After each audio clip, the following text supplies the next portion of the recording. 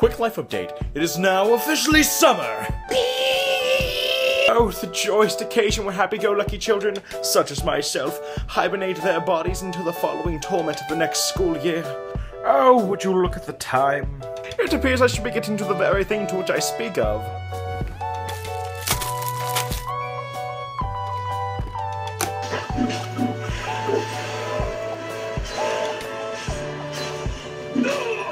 Happy summer.